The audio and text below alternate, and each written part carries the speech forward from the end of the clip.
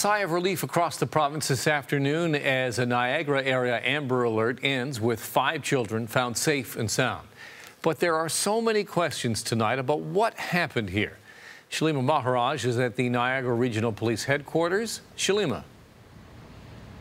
Well, Alan, we had a whole community here who was on lookout for any sign of Ian McDermott or the vehicle that they were provided a description for by police. Now, when we arrived here at police headquarters, we actually had a chance to speak to Ian McDermott, and he declined to go on camera to speak with us, but he is telling us that this is one big misunderstanding. We asked him questions like, did you see the Amber Alert? Were you aware that authorities were even looking for you?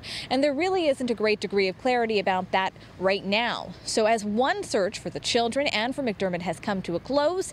Now, the search for answers is ramping up. Wearing dark clothing, Ian McDermott stood outside Niagara Regional Police headquarters Wednesday afternoon after speaking to officers. His whereabouts and that of his five children were the subject of an Amber Alert that went into effect on Tuesday. Thanks to new information, police were able to track down the red Toyota Camry they had been looking for, leading them to McDermott and an unknown woman in Fort Erie.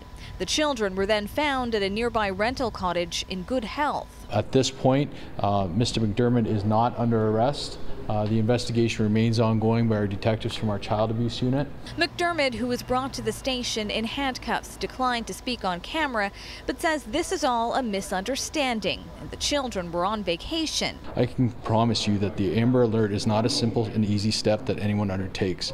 We impact millions of people across this province, and that is not a step that's undertaken uh, lightly. In the hours following the alert being issued, police reported that the children were taken from the family home sometime between between September 19th and September 25th and were subject to a temporary custody order. A missing person report was filed by Family and Children's Services Niagara. Allison Chamberlain lives in the region and was immediately distraught when the Amber Alert was issued. If it's an Amber Alert, that child's life could be at risk and my heart sunk.